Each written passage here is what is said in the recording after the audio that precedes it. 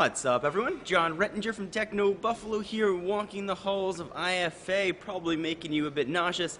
I wanted to announce a live show we have going on at 11 a.m. Pacific time, which is also known as 8 p.m. in Berlin. That's 2 o'clock for those folks on the East Coast. We're going to be taking live questions, asking you about all the stuff that's been announced thus far at IFA. We'll be talking all kinds of Samsung things and all the cool stuff we can expect. It's going to be me, Cali Lewis from GeekBeat.tv, and Mark Watson, Mr. Soldier Knows Best.